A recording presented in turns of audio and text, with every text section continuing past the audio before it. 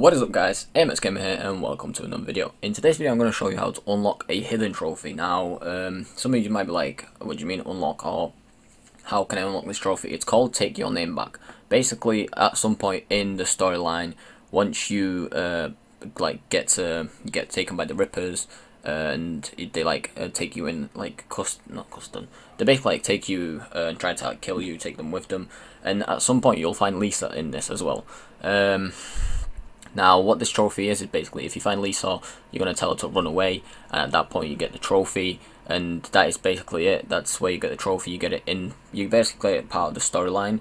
It's, uh, I think, like a very, uh, I think it's either ultra, uh, ultra rare, or it's very rare, I'm not too sure. Um, but it is red. It is a hidden trophy, so that's why I'm recording this, just to just to like let you know, or um, if for the people that want to know what all the hidden trophies are, that is one of them. Uh, so yeah, thanks for watching. As always, smash like, and subscribe on there, comment down below, and uh, I will see you next time. So thanks for watching. Hope you have an awesome day, and peace.